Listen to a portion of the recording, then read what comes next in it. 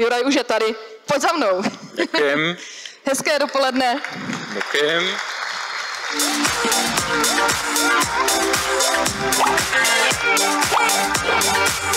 Tak, vítajte. No. Nechám to na tobě, ty máš spoustu toho, co do zodpovězení. Dívala jsem se, že máš nějaké super schopnosti ve svém popisku popsány, takže věřím, že si to tady společně užijeme. Je to tvoje, Juraj. Super, ďakujem.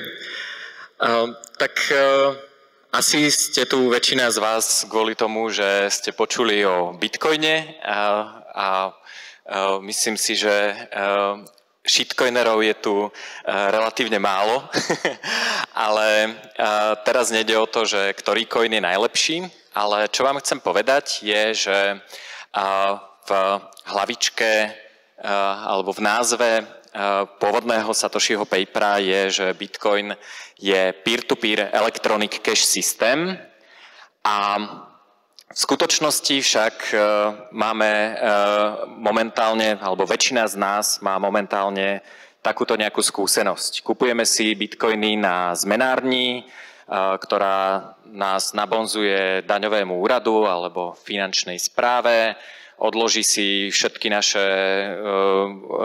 fotky, dokumenty, pomaly aj číslo topánok niekde do archívu, do nejakého šanónu. Ak náhodou robíme nejakú podozrivú transakciu, tak ju nareportuje finančnej policii a zrazu z niečoho, čo malo byť peer-to-peer, máme peer-to exchange, tu e, daňový úrad, tu finančná polícia a tak ďalej. Tuto to žiaľ nekončí. Z peer-to-peer electronic cash systému máme, teda to, to tu reprezentuje ten blockchain, tak máme interakcie s firmami, ktoré robia tzv. chain analýzu a riešia, že či máme pekné voňavé kojníky a zase je tam nejaká tretia strana, ktorá nám do toho nejakým spôsobom hovorí. A samozrejme väčšina z nás, eh, eh, alebo teda z vás, si kupuje Bitcoin tak, že zo svojho bankového účtu niečo pošle na zmenáreň a tam máme eh, na obidvoch stranách problémy typu riziko zavretia účtu, reportovanie finančnej policii, reportovanie nejakej daňovej správe. Mimochodom, ten CRS reporting je automatický, to znamená, že to nie je, že ak ste veľmi podozriví alebo si kupujete veľmi veľa bitcoinov, ale ak si kúpite bitcoiny a, a je to teda reportable account v tej zmenárni, tak vás určite nareportujú. Je to automatický XML, proces, XML dokument, ktorý sa posiela na finančnú správu. Čiže ak si kúpime bitcoin takýmto spôsobom, tak vlastne vedia o tom, že sme si kúpili bitcoin. A nielen finančná správa, ale môžu to byť práve aj tie tretie strany typu chain analýza a podobne. Potom tu máme takýchto pánov, tuto si poslal takúto fotečku nejaký socialistický europoslanec, že konečne zatočia s divokým západom neregulovaného krypta a už sa nebudú dať brať peniaze. A takto sa odfotili, akí sú super a ako to celé zregulujú. A s týmto vám pravdepodobne budú pomáhať rôzni iní účastníci tejto konferencie, projekt kryptoregulace, aj firmy Blockchain Legal a možno ďalšie firmy, ktoré tu sú. A my bitcoineri, ktorí, teda, ktorých tie regulácie až tak nezaujímajú, sme si povedali toto. a neviem, či poznáte tohto pána. A, ale na to, aby sme si mohli povedať to anyway, tak uh, musíme vedieť, že, uh, že čo s tým. Um, ja si osobne myslím, že aj napriek tomu, že väčšina ľudí si ten Bitcoin kúpi, pretože e, čakajú, že e, sa im zdvojnásobí alebo z desaťnásobí majetok, e, pretože samozrejme všetci vieme, že Bitcoin pôjde to the moon, a tak myslím si, že Bitcoin má aj mnohé iné vlastnosti, pre ktoré by sme si ho možno mohli zaobstarať aspoň v nejakom malom množstve pretože si myslím, že, to nie, že Bitcoin je vstupnou bránou a jednak do paralelného finančného systému, ale aj k myšlienkam slobody, ktoré nám umožňuje prakticky realizovať. Čiže ak si vyberiete súkromný spôsob nadobudnutia, teda bez tých všetkých zmenární, daňových úradov, chain analýzy firiem a podobne, a kúpite si ho do vlastnej, najlepšie hardwareovej peňaženky, tak si nevyberáte len špekuláciu na budúcu cenu, ale vyberáte si aj iné hodnoty Bitcoinu. To znamená decentralizáciu, súkromie, suverenitu a podobne. Čiže e, ten orange pill nie je len o tom, že, že chcem byť bohatý, ale ten orange pill je o tom, že aha, tu mám záložný e, paralelný finančný systém, keby sa niečo s tým hlavným pokazilo. Alebo čo keby, e, čo keby ma niekto chcel okradnúť, väčšinou to teda býva v tomto prípade štát a tak ďalej. Tak ak si vyberieme tento spôsob, nie, nie, je, to, nie je to hociaký spôsob, tak si vyberáme aj tieto ďalšie hodnoty. A myslím si, že je to dôležité. Možno ste si všimli, že cena na burze, kde vás nareportujú, alebo cena v niečom, čo volám bankcoin, a to je teda také, že ani nemáte ten bitcoin, máte to len niekde na nejakom účte typu Revolut alebo PayPal, a tak stoja skoro rovnako. Čiže je podľa mňa veľmi zlý nápad kúpiť si niečo, čo je horšie a má to rovnakú cenu ako ten správny súkromný peer-to-peer Bitcoin. Ja som spravil takéto porovnanie, nepôjdem cez neho detailne, ale môžete si e, v mojom e, najnovšom podcaste som prechádzal takouto tabulkou a sú to vlastne tri podoby Bitcoinu. Prvý je ten bankcoin, o ktorom som hovoril, to je, že niekde na účte v nejakom internet bankingu u tretej strany máte, máte akože bitcoinový zostatok, ale neviete si ho vybrať do svojej bitcoinovej peňaženky. Druhý je KYC coin, teda e, pri Bankcoine rátam aj to, že si necháte zostatok na burze, čiže môžete si ho vedieť vybrať, ale rozhodnete si sa nechať si ho niekde na nejakom Binance alebo Krakene alebo neviem čom. KYC coin je už výrazne lepší. To je coin, ktorý si kúpite na burze, ale vyberiete si ho do svojej najlepšej hardwareovej peňaženky. A potom máme Bitcoin, to je ten peer-to-peer coin, ktorý ktorý si kúpite anonymne a vyberiete si ho do vlastnej peňaženky. No a ako vidíte počtom smajlíkov, tak e, je pomerne jasné, čo je najlepšie, ale sú tam samozrejme aj na konci nižšie v tabulke nejaké otázniky a nejaké smajlíky pri tom Bencoine a e, im sa ja osobne snažím venovať, aby som premenil otázniky na čo najviac smajlíkov. Takže poďme sa pozrieť, ako na to. Takže predstavte si teraz úplný masakér, tam tí páni, čo sa odfotili na tom Twitteri, to úplne zakážu. Povedia, že kto si kúpi bitcoin, tak ide do basy, lebo proste ničí planetu, generuje to CO2, proste celé zle. Tak čo urobíte? No tak e, e, ak ste bitcoineri a ste trošku e, si ceníte svoju slobodu, tak sa určite teraz neposkladáte, že pre Boha je to zakázané, teraz sa toho musím zbaviť a už sa toho nikdy nedotknem. Ale uh, budete hľadať iné možnosti, ako ten Bitcoin používať. Uh, čiže ak je to zakázané, tak nie sú iné možnosti. Uh, máme bitcoinové ATM sú zrušené alebo sú super nejaké KYC. A tak nastupujú na scénu vexláci, vexláci, neviem, či vidíte moje tričko, tam vám takto na ulici budú ponúkať bitcoiny. A potom druhá najčastejšia otázka je, že OK, tak mám bitcoiny a na čo mi to bude, keď vlastne je to zakázané, tak si za to nemôžem nič kúpiť. A tu prichádzajú na scénu tzv. proxy obchodníci, ktorým dáte bitcoiny a oni vám dajú ten váš nový telefón alebo laptop, čo si chcete kúpiť. Takže Vexláci a proxy obchodníci sprístupňujú tú peer-to-peer ekonomiku. Sú vlastne ten váš jediný peer, nie, nie je tam vlastne ako keby ďalšia strana. A čo je úloha vexláka? Veľa ľudí si myslí, že vexlák je nejaký typek, ktorý uh, ako vám predáva bitcoin vtedy, keď je, uh, keď je najdrahší a kúpi, keď je najlacnejší. Uh, úloha vexláka je veľmi jednoduchá. Je to úloha premeniť papieriky s hotovosťou na reprezentáciu hodnoty v kryptopriestore. Môže to byť Bitcoin, môže to byť stablecoin, môže to byť čokoľvek. Podstatné je, že je to teda v kryptoekonomike. Čiže jedným aj druhým smerom. Veľa ľudí teda rieši, že kúpim Bitcoin a predám Ethereum alebo chcem stablecoin.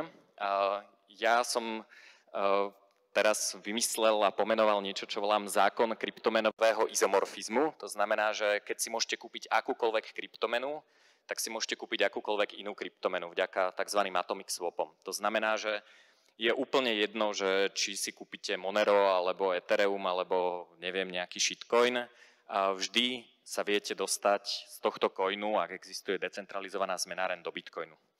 A, čiže to, čo je podstatné, nie je, že aký coin v, na akej sieti a tak ďalej vám ten vexlak predáva alebo, alebo od vás kupuje. Podstatné je, že dokáže premeniť papieriky s obrázkami mŕtvych prezidentov alebo neviem čím, čo máte v Čechách na obrázkoch, tam sú tiež nejakí páni, tuším, na krypto a opačne. To je jeho úloha.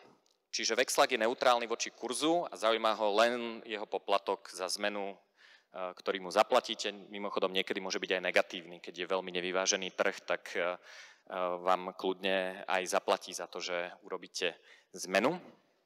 A Vexlákom môže byť každý bitcoiner. Čiže nemusíte len teraz ako dúfať, že Bitcoin pôjde to the moon, ale môžete s ním aktívne pracovať a môžete pomáhať práve prístupňovať tú peer-to-peer ekonomiku ďalším ľuďom. Ehm, snažím sa toto ľudí učiť. Spravil som taký kurz Etický vexla, kde im vlastne vysvetľujem práve, ako byť neutrálny voči kurzu, ako to robiť bezpečne a tak ďalej. A potom vám Lea povie, ako nájsť protistranu. Um, väčšina ľudí ale nie sú nejakí profesionálni vexláci, ktorí sú super zahedžovaní a proste nejakým spôsobom sa tým živia ale veľmi často sa stretnú proste dve opačné požiadavky. Niekto potrebuje zaplatiť nájomné, e, niekto si chce kúpiť bitcoiny, tak sa proste stretnú, dojde k výmene papierikov e, za krypto a niekto papierikmi zaplatí nájomné a niekto sa teší, že nakúpil bitcoin. Čiže toto je oveľa častejšia vec a práve Vexlag nastupuje väčšinou až v tom nevyváženom trhu, keď neviete nájsť tú protistranu, ktorá má nejakú prírodzenú potrebu. Je teda súčasťou štruktúry peer-to-peer ekonomiky, rieši problémy vyváženia ponuky a dopytu a to aj v čase, keď jedna strana prevláda. Napríklad, e, keď Bitcoin veľmi padne, tak e, sú bitcoinové ATM totálne vykúpené už o 8 ráno, čiže keď tam prídete, tak musíte počkať ďalšie 3 dní, kým e, pošlú papieriky na burzu, teda vložia ich do banky, pošlú ich na burzu a budú mať ďalšie bitcoiny rieši problém súkromia, vexláka nezaujíma, ako sa voláte. Um, rieši problém vzdelávania, to je veľmi dôležité, že keď niekto uh, si chce kúpiť uh, 5 bitcoinov do nejakej mobilnej coinovej peňaženky, tak mu poviete, že nie, nie, takto sa to nerobí, naozaj si kúpte za uh, 100 alebo neviem koľko dolárov nejaký, nejakú hardverovú peňaženku. A rieši problém regulácií. Hovorím, že Eh, toto funguje aj v regulačnom pekle a povieme si eh, prečo. Ako nájsť vexláka? Tak o tom vám povie detailne Lea. Ja vám poviem, že ako ho nenájsť. A nenájsť ho podľa mňa nie je dobrý nápad centrálny register vexlákov. Centrálny register vexlákov znamená, že vy si dáte na web, že neviem čo, eh, kúpim, predám jeden bitcoin a stretneme sa na nejakom mieste. A veľa ľudí eh, v tomto prípade dopadlo zle, pretože na druhej strane bol nejaký agent finančnej polície a zrazu boli nejaké obvinenia z money launderingu a podobne. V USA sa toto už dialo. A dokonca tie registre vexlákov niektoré zavádzajú KYC. A myslím, že Local Monero funguje bez KYC, ale myslím si, že taká, že verejná reklama, že si zavesím na web, že ja predávam bitcoiny, je e, z pohľadu súkromia dosť zlý nápad a dá sa to urobiť lepšie. Čiže neviem, či by ste vy chceli byť v takomto centrálnom registri, ja teda určite nie. No a mám takú, uh, takú uh, metaforu. Neviem, či ste, ak cestujete, či ste stretli počas svojich ciest týchto typkov. To sú, to sú tzv backpackery alebo batúškári. Eh, také eh, krajiny eh, niektoré krajiny ich nemajú radi, lebo proste to sú presne tí ľudia, ktorí nájdú úplne najlacnejší hotel a väčšinou zaplatia cash bez bločku a proste ten štát, tá turistická destinácia typu Tajsko z nich nič nemá. Takže to je prvá inšpirácia, ktorú, čím, čím mňa osobne inšpirujú, že vlastne dokážu vyťažiť z tých svojich peňazí úplne najlepšie zážitky počas cestovania. Ale druhá vec, ktorá ma vždycky, um, vždycky dorazila, stretnete ich v lietadle, pristanete, uh, vy sa ubytujete na hoteli, oni sa ubytujú na nejakom hosteli a potom samozrejme nájdete v turistickej destinácii najlepšie miesto, kde sa pozera západ slnka, oni tu samozrejme nájdu presne to isté miesto, takže si tam sadnú a čo urobia? Rovno si začnú baliť jointa. Ako pre Boha za ten deň zohnali trávu v úplne cudzej destinácii, kde je to určite zakázané, je to proste e, niekde, niekde vás za to dokonca aj obesia, alebo neviem, ako sa teda e, realizuje trest smrti. A oni to aj tak dokážu. Hej? A, a to je pre mňa akože veľmi zaujímavá a, inšpirácia, že ako vyriešiť problém regulácie inak, akože ovplyvním tú reguláciu. Čiže predaj trávy je peer-to-peer ekonomika aj napriek vysoko regulovanému prostrediu, čo v zásade znamená, že je to zakázané. Čiže keď niekto zakáže bitcoin, tak tí vexláci sú to isté ako predajca trávy. Proste oni vám chcú e, ten produkt predať, pretože na tom zarábajú. Čo ma úplne udivuje, takže ľudia sú schopní zohnať trávu úplne všade. Že je úplne jedno, kde ste. A ja mám podobnú skúsenosť aj s Bitcoinom, že proste pristanem v Paraguaji nikoho, teda v Asuncione v Paraguaji nikoho tam nepoznám, a do pár hodín proste som schopný zohnať vexláka, ktorý mi proste premení bitcoiny za lokálne paraguajské guarany a celé, celé to funguje. Čiže je to vysoká dostupnosť práve vďaka tomu, že je to peer-to-peer ekonomika, že to nie je nejaká jedna centralizovaná inštitúcia, ale to sú ľudia, ktorí sú v Ústí nad Labem, v Liberci, v, v Prahe, v Brne, v Ostrave, v Olomovci, všade a oni chcú zarobiť peniaze a chcú vám pomôcť vyriešiť váš problém. Riešia vlastne ten extrémny problém regulácie. To znamená, že OK, ak to bude lepšie ako úplný zákaz, tak fajn, môžeme používať aj nejaké iné služby, ale ak by to aj úplne zakázali, napríklad, myslím, že zakázané burzy sú v Kolumbii, v Nigérii zakázali bankám interagovať finančne, teda posielať fiat do na kryptozmenárne a Kolumbia a Nigéria sú jedni z najväčších peer-to-peer trhov vôbec. Hej? Čiže keď sa pozrieme na ten extrémny zákaz, tak vlastne vidíme, že, že tí ľudia si to vyriešia, pretože je to naozaj peer-to-peer electronic cash. Úlohu vzdelávania som spomínal, ako pri tráve je úloha vzdelávania asi ako si to ubaliť a, a neviem, ale toto by som chcela, teda uvažujete o tom, že, že vexlujete, tak ako usmeriť tých ľudí, aby neprišli o peniaze. Ako ne, nemôžete im úplne vysvetľovať, že kedy majú kupovať a predávať, to nie je váš job. Váš job je premeniť papieriky na krypto a opačne, ale keď chcú ako robiť takú blbosť, ako som povedal, typu poslať si 5 bitcoinov do softverovej peňaženky, tak im to skúste aspoň vyhovoriť. Ale väčšinou je to teda o tom, že oni nevedia, ako, ako to urobiť. Hej. Čiže vy musíte povedať, aha, toto je peňaženka, to, takto si zapíšete sít a tak ďalej. Zvládli vyriešiť problém bezpečnosti. Hej, že aj tí dealery, aj tí backpackery um, nie sú base. Hej, čiže oni nejakým spôsobom, a o, o tom spôsobe vám tiež povie Lea, zvládli alebo dokázali vyriešiť ten problém, že robia niečo, čo je zakázané a oni to aj tak robia hej. A super to škáluje. Proste predajcovia trávy aj vexláci sú po celom svete a nie je vlastne takmer nikde problém uh, zohnať či už bitcoin alebo, alebo trávu. Ako bitcoin ešte na predajcov trávy nemá, ale už sa to veľmi, veľmi výrazne zlepšuje. Ja si, ja si myslím, že ako ktokoľvek, e, dajme tomu od 15 rokov vyššie do 24 hodín dokáže zohnať trávu úplne kdekoľvek na svete. A nemusíme začať tým, že sme profesionálni vexláci, môžeme mať tzv. vexlovacie skupiny. Ja som napísal taký blog o tom, že ako to, ako to urobiť. Najlepšie je založiť takúto skupinu medzi kamarátmi v meste alebo na dedine, kde žijete. Kľúčové slovo je kamarátmi, to znamená ľuďmi, ktorých poznáte nie ako náhodný človek, že chcel by som sa pridať. Čiže je tam nejaká jemná, zjavná reputácia, aspoň tranzitívna, že niekto toho človeka pozná a vie aspoň trochu povedať, že čo je to, čo je to za človeka a teda hlavne, že kde nepracuje.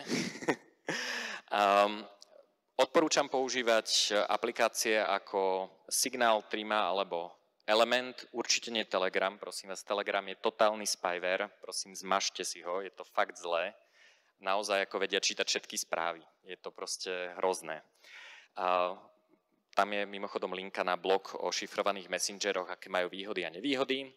Um, je dobré založiť jednu skupinu, kde sú len tie trady, že kúpim bitcoiny za 1000 eur cash e, v centre pri krčme XY.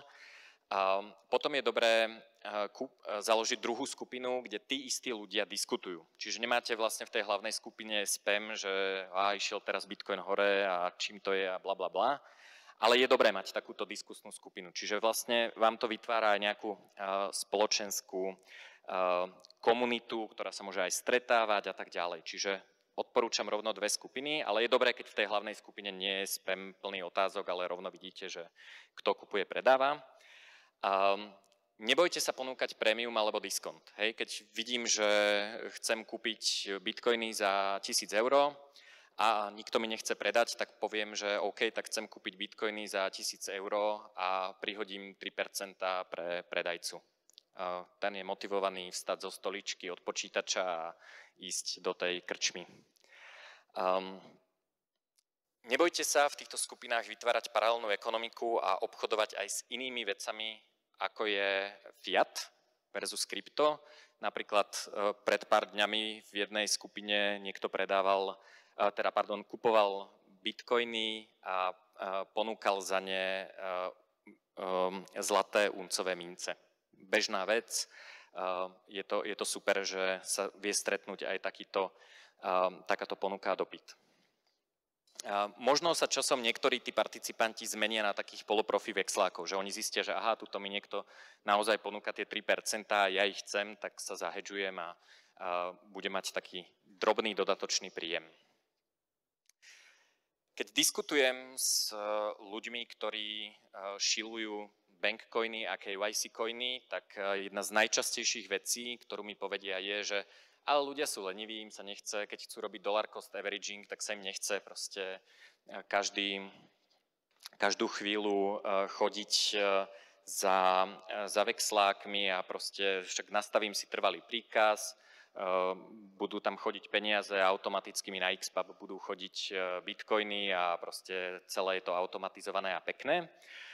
No a ja teda, eh, keď mi niekto takéto niečo povie, tak mu nepoviem, že ty si debil a, a chceš mať bitcoin súkromne a proste zdvihni svoj lenivý zadok, ale mu, sa mu snažím nájsť také riešenie, ktoré, eh, ktoré mu vyhovuje.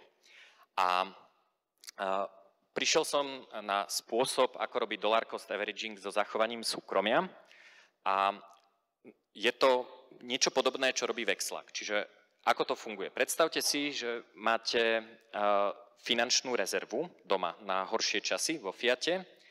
Čo môžete urobiť je, že si naraz za tú finančnú rezervu kúpite bitcoin a zahedžujete si ho. To znamená, buď si kúpite stablecoin alebo urobíte nejaký hedge na burze a potom vlastne z toho hedžu každý mesiac v rovnakej hodnote vystupujete. Ideálne je, keď toto urobíte, keď je vysoký kurz bitcoinu, to znamená, že môžete zarobiť to prémium, a e, potom používate nejakú e, decentralizovanú zmenáreň a vlastne v rovnakej dolárovej hodnote, ako keby sami od seba nakupujete zo svojho kryptofiatu na, e, nakupujete bitcoiny. To znamená, že urobíte jeden nákup u vexláka ročne, alebo u niekoho, kto má opačný problém a, a vlastne potom už len klikáte na decentralizovanej zmenárni, že 100 eur kúpa bitcoinu, ďalší mesiac 100 eur kúpa bitcoinu a tak ďalej.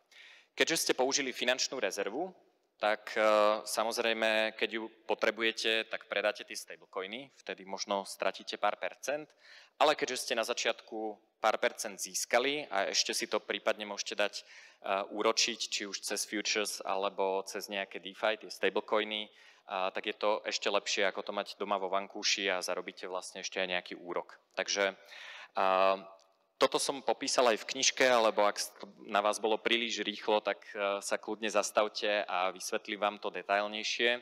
Ale teda existuje spôsob, ako robiť dollar cost averaging bez trvalého príkazu v banke. To je teda pointa, čo vám chcem povedať. A vlastne keď rozmýšľate nad týmito spôsobmi, ako sa to dá robiť práve peer-to-peer so zachovaním súkromia, tak e, zistíte, že vlastne veľa vecí sa dá urobiť, aj keď na prvý pohľad možno sa vám zdá byť jednoduchšie urobiť ten bankový prevod. Bitcoin sprístupňuje aj ľudský network, to je práve e, napríklad ten dealer, ktorého stretnú tí backpackery. a myslím si, že je super e, využívať aj toto, teda nie len cenu, ale aj to, že sa stretávate s, bitcoiner, s bitcoinermi, interagujete, zistíte, čo oni robia v živote, e, kupujete ich produkty a služby, spoznáte zaujímavých ľudí, ktorí majú veľmi podobné hodnoty ako vy. A je to podľa mňa akože jeden z najlepších e, networking nástrojov.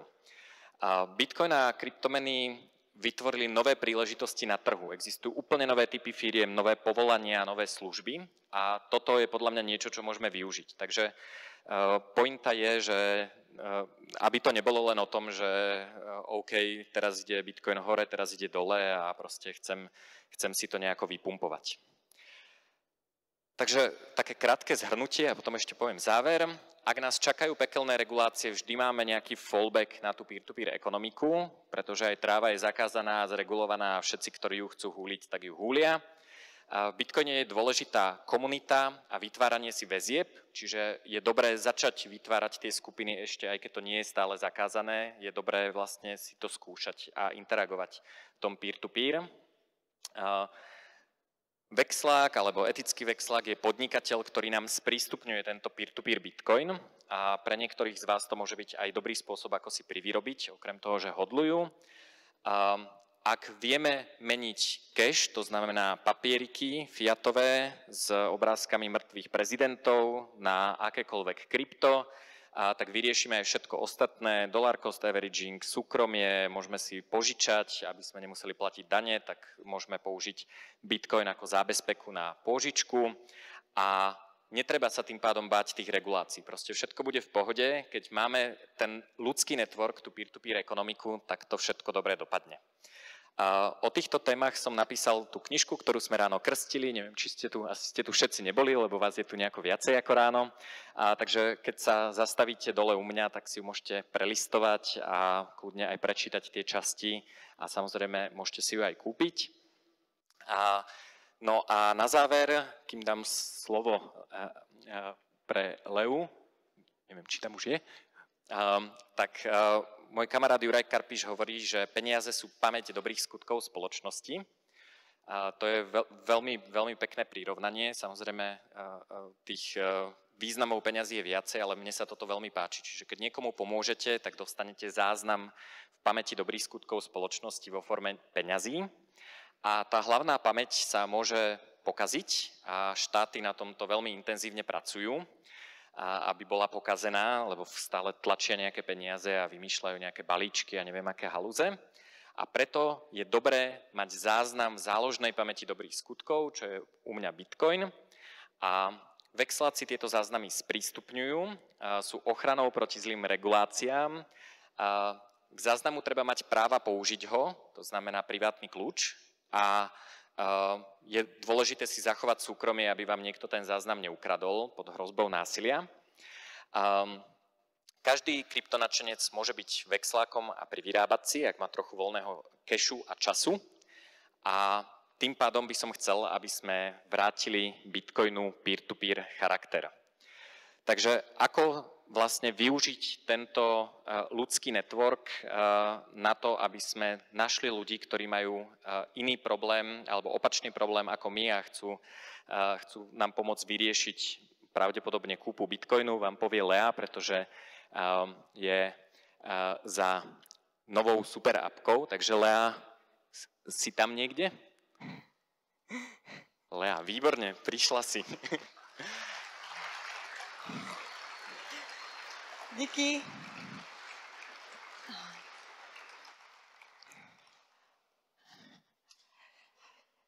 Dobrý deň, ja vám dneska budem hovoriť príbeh Františka. Je to skutočný príbeh, možno sa v ňom eh, spoznáte. nie, niektorí. Ja som sa v ňom určite spoznala. A tento príbeh začína tým, že Františkovi bloknú účet na revolúte. František je celkom prekvapený, ale zistí, že vlastne je to celkom bežná praktika. Keď sa popýtal medzi kamarátmi, nie je jediný, komu sa to stalo. A vlastne tie dôvody neboli žiadne, žiadne špeciálne. František robil transakcie. Na dovolenke si vysvetloval viacej dlhov s priateľmi, mal tam nezvyčajné množstvo transakcií oproti jeho pôvodnému používaniu aplikácie a proste Revolut ho blokol.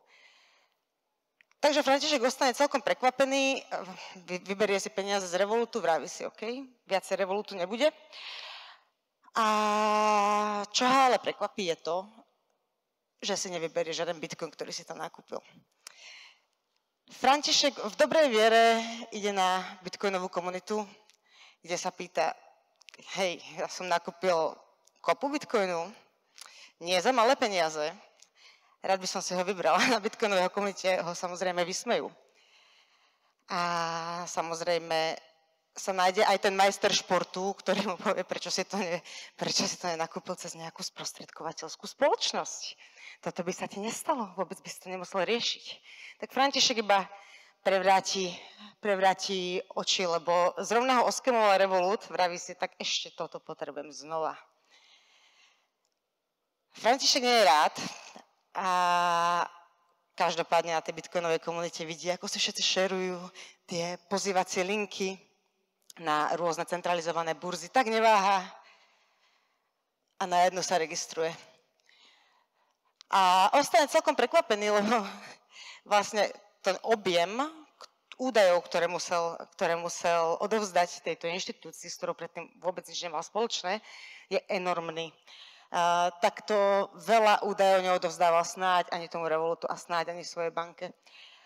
Každopádne po všetkých dopisovačkách a verifikáciách s burzou si pošlo peniaze na tú burzu, je to úspešné a vraví si, yes, konečne, konečne môžem nakupovať bitcoin, ešte si aj očakoval, že sa z tej burzy budem môcť vybrať, verí tomu a myslí si, že už mu nič nestojí v ceste, až, až sa mu ozvu z banky, že mu zatvárajú účet. V prvom momente to Františka nenapadne, že čo sa stalo a prečo. Pretože je ich klientom 10 rokov, tak im píše, halo, dekádu mám u vás účet. Čo sa deje? A banky reagujú tak, ako reagovali predtým. Máme právo, sú to interné smernice,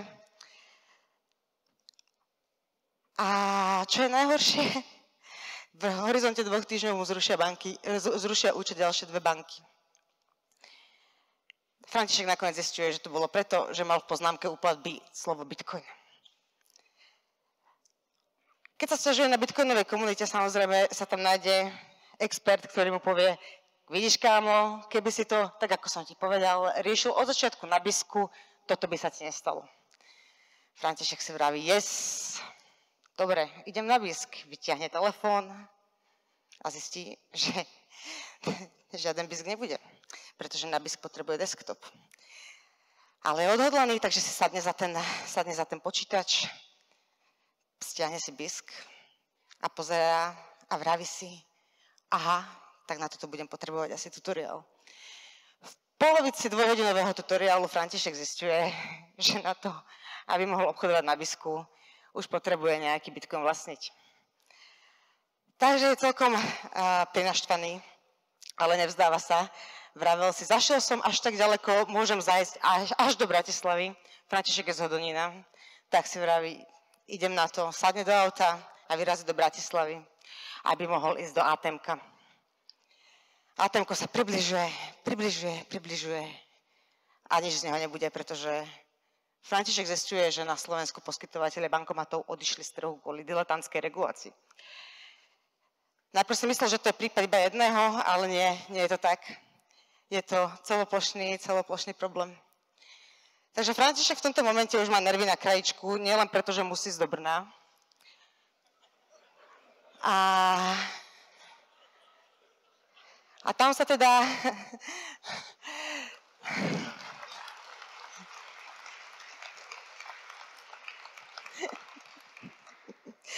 A tam sa teda k tomu bankomatu konečne dostane. Uh, každopádne nepoteší sa, keď zistí, koľko ten Bitcoin zaplatí a že bankomat má veľmi obmedzené množstvo toho Bitcoinu. Takže vlastne, keď si František spočítal svoj čas, ktorý do, toho, do tejto transakcie investoval, cenu za benzín a, a nervy, ktorého to stálo, asi si kúpil momentálne najdrahší bitcoin v širokom okolí. A čo je úplne najhoršie, František si uvedomil, že v tomto momente vedia o tom, že si nakupoval bitcoin úplne všetci. Vie to celá bitcoinová komunita, vie to jeho zamestnávateľ, lebo, zrušil, lebo rušil banky, a samozrejme to vedia jeho, samozrejme to e, vedia v tých bankách, teraz mu nikde nechcú otvoriť účet, lebo je niekde ovlaočkovaný ako rizikový. A čo je úplne najlepšie, ozval sa mu Berňák, lebo František zarobil asi 400 korún na revolute. Takže keď mu píše kamarát, a prečo si nedal vedieť skôr? Škoda, veď som to, že som to nevedel. Viem, že si zháňal nejaký bitcoin. Tak to už je posledná kapka. František by si prijal, aby obchodovanie bitcoinu bolo diskrétne ako nakupovanie trávy. A hlavne tak rýchle. Na tejto ceste Františka na tých zastávkach si myslím, že sme boli každý z nás v niektorej z tých fáz. A doteraz sme nemali možnosť, ako, ako tomu Františkovi pomôcť. Nemali sme ten tool, ktorým, ktorý by sme mohli Františkovi ponúknuť, kam ho poslať a vyriešiť všetky tieto pejny, ktoré mal. A dodnes.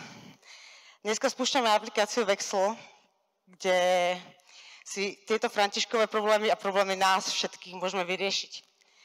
V aplikácii Vexel môže sa, sa, do aplikácie Vexel sa František môže prihlásiť iba svojim telefónnym číslom alebo akýmkoľvek telefónnym číslom. Môže do ňoho anonymne a bezpečne importovať uh, svoje kontakty Aplikácia ho prepojí s kontaktami svojich kontaktov a František môže prechádzať marketplace. A prípadne môže postovať svoju nabitku. Chcem kúpiť Bitcoin za 20 tisíc, nič ďalšie. A môže nabitky requestovať a potom si dohodnúť podmienky obchodu napriamo, transparentne v end-to-end encrypted čete. A v prípade, že by sa bál, že sa baví s nejakým agentom provokatérom, môže požiadať o odhalenie identity. A o tomto obchode sa nedozvie vôbec nikto, dokonca ani my v Satoshi Labs. A každý, kto je prihlásený na workshop dneska, tak si tú aplikáciu môže vyskúšať. Takisto môžete ísť k nám na stánok, kde, kde ju môžete vidieť. A pre všetkých ostatných tu mám link. A na vašej verzii aplikácie uvidíte Marketplace a chat zablokovaný. Všetko ostatné je ale funkčné. Zablokovaný je preto, aby sa Františkovi nestalo to, že príde na prázdny marketplace. Takže ja teraz by som vás rada vyzvala k tomu, aby ste sa registrovali, a aby ste nahrali svoje kontakty. Je to bezpečné, ak to neverí, môže nám čeknúť kód, je to open source. A aby ste pridávali svoje nabytky a poptávky, aby, František, aby sa Františkové problémy neopakovali. A pre tých, ktorí som nepresvedčila, tu mám úplne posledný odkaz odo mňa, od Satoshi Labs a od samotného Satoshiho Nakamota.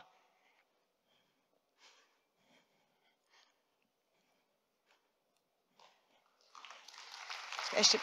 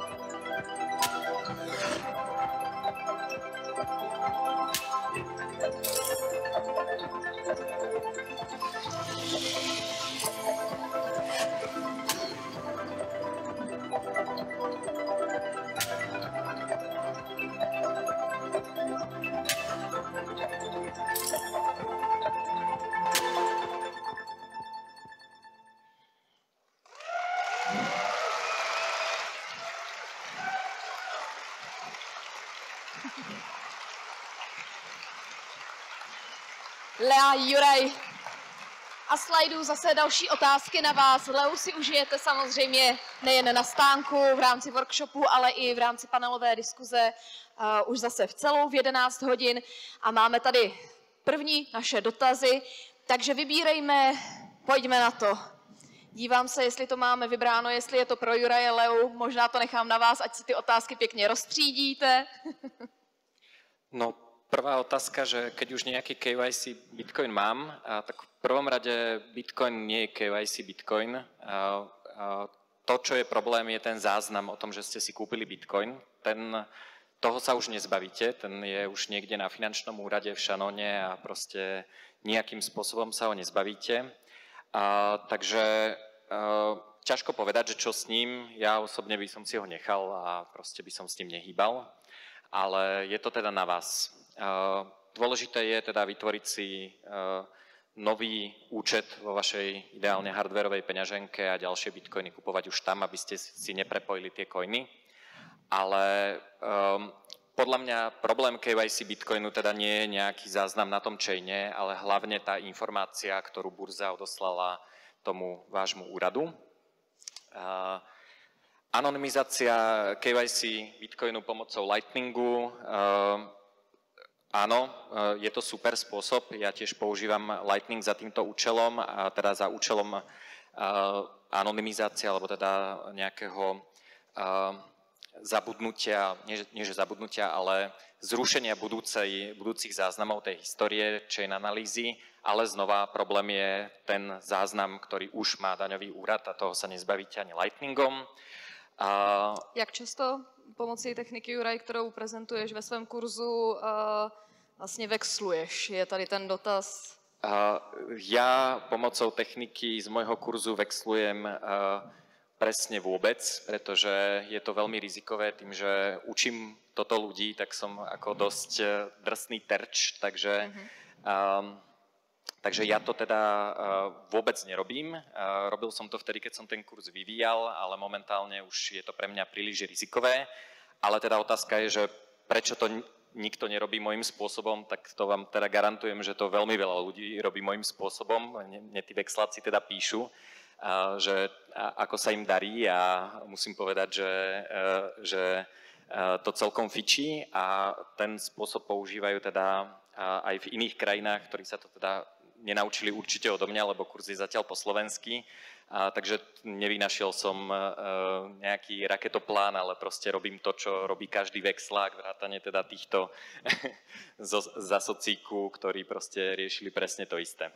Ano, Gong se stal takovým moderním tuzexem v tuto chvíli. Máme tady další dotaz. Řeší nějak eh, vexlák daně? Typuju, že ne. Uh, tak uh, v prvom rade uh, dá sa, dá sa riešiť Bitcoin aj bez toho, aby ste mali daňové povinnosti.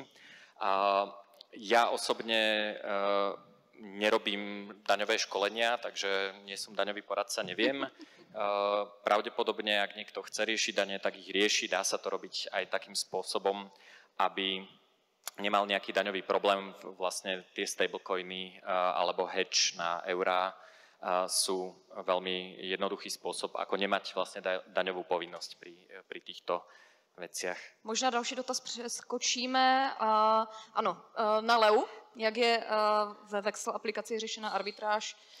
To je spíš na tebe. Jo, Vexel nejakým spôsobom nevstupuje do vašej transakcie, to znamená je skutočne peer-to-peer, nemáme žiaden escrow, nič podobné. Vlastne to, o čo sa usilujeme a to, čo by sme v tomto MVPčku chceli verifikovať a, alebo vyskúšať, je preniesť reputáciu zo skutočného sveta do, e, do aplikácie. Takže vlastne funguje to tak, že vy v aplikácii sa spojíte s protistranou a vidíte, koľko máte spoločných priateľov. E, a vlastne e, vy vo vašom reálnom, reálnom živote máte nejakú inherentnú reputáciu už len díky tomu, v akej sociálnej bubline sa pohybujete. Takže my vlastne to, čo sa snažíme docieliť, je preniesť túto reputáciu do apky, do samotného tradu a incentivizovať tých uh, užívateľov, ktorí sa zapájajú do Vexlu, aby sa správali slušne práve tým, že vidia, že sa, že sa pohybujú vlastne medzi ľuďmi, ktorí skutočne poznajú. Prípadne medzi známymi známych. Ja to, ja to možno e, dodám, že e, ako som hovoril o tých predajcoch trávy, tak ako ľudia hľadajú predajcu trávy? No tak sa, keby som chcel zohnať trávu, tak si spomeniem na spolužiaka zo strednej, ktorý bol proste celé dni vypečený a zavolám mu a opýtam sa ho, že keby som teoreticky chcel kúpiť teraz v Ostrave trávu, že či nepozná niekoho, e, kto by mi tento problém vedel vyriešiť, a ja toho človeka osobne poznám, lebo som s ním sedel v lavici a on pravdepodobne osobne pozná toho dílera. Hej, čiže my neriešime teraz, že či to bude nejaký podvodník, lebo ja sa toho môjho spolužiaka opýtam, že a počúvaj, čo je to za typka, hej, akože je v pohode, alebo má klepne po hlave, hej. Čiže to je vlastne ako ten prenos tej reputácie, to je jeden dôležitý aspekt aj v tej apke, ale ja toto tiež ako na to apelujem, aby ste proste nechodili za random typkami do nejakého podchodu proste niekde. A vlastne druhá vec je využitie tej siete malého sveta vašich sociálnych väzieb. Čiže vy možno nepoznáte práve nejakého vexláka, ale poznáte 5 bitcoinerov, ak nepoznáte, tak si založíte tú skupinu v tom svojom meste a oni niekoho poznajú. Čiže vlastne ako t- t- po, tej, po tom grafe tých sociálnych sietí putujete a vlastne tá Vexel appka vám toto zjednoduší, zautomatizuje, aby ste vedeli využiť tie svoje kontakty. Preto tam uploadujete vlastne ty kontakty. Já si myslím, že ideální prostředí je i tady, že jo? Tady máme eh, zrovna tuhle komunitu, kde se to dá taky vyzkoušet. Vybereme prosím poslední otázku, protože už lehce přetahujeme a nás potom čeká vlastně panelová diskuze. Ano? Ja vidím, ako to tu naskakuje, teda je to intenzívne. Ja by som všetkých eh, rada poprosila, keď máte otázky alebo problémy s apkou, tak bežte na stánok. Máme tam štyroch profivexlákov, ktorí sú na vás pripravení. A samozrejme, eh, tam som čítal, že je nejaká rozbitá keď tam je nejaký problém, tak vám určite s tou určite zapkou na, na stánku pomôžu. Aplikácia je aj na F-Droid, je, je, je dvojplatformovo, to znamená je aj na iOS, aj na Android. A čo sa týka Vexel a štátu, čo bola veľmi populárna otázka a stále je, a, tak Vexel nemá so štátom žiaden problém a štát nemá žiaden problém s Vexlom. A totiž to Vexl, uh, Vexl je iba platforma na to, aby spájala kamarátov s inými kamarátmi. Je to taká uh, disku, diskusná sieť a diskusná sociálna sieť. Tinder. Je to, áno, je to Tinder pre bitcoinerov. a já bych to tímto uzavřela. Děkujeme moc krát, Lea, Juraj. Díky moc.